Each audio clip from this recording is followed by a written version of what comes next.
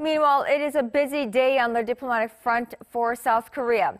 Seoul's uh, Foreign Minister Kang Kyung-wha and her U.S. counterpart Mike Pompeo will hold talks on Tuesday in San Francisco to discuss denuclearization and peace on the Korean Peninsula, as well as Middle East tensions.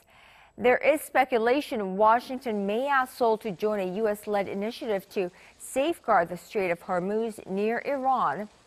Now, prior to her departure, Kang said the matter is under review and she will listen to what Pompeo has to say.